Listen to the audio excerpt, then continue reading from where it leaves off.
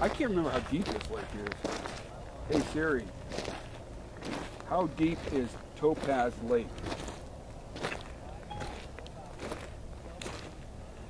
Topaz Lake has an average depth of about 52 feet.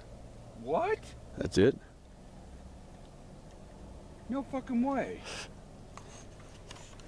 Yeah, let's see if I Oh can. yeah, you look, you can see stuff on it right here already. 52 feet?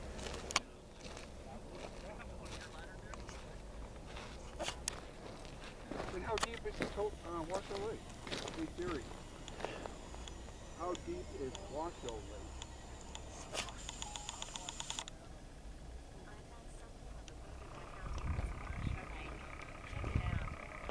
Lake?